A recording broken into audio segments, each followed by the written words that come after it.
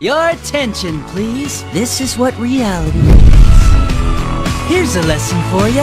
You act high and mighty, but lose and you're just a loser. Did you ever stop to think about what you were gonna do with the truth once you actually found it? If crimes could be solved by appealing to morality, we wouldn't need the police.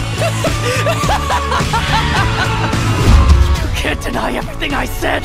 Stop ignoring the truth and just die! Trying your best just won't cut it.